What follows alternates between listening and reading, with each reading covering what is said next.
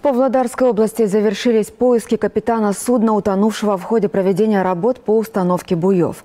Трагедия произошла в ночь на 8 мая.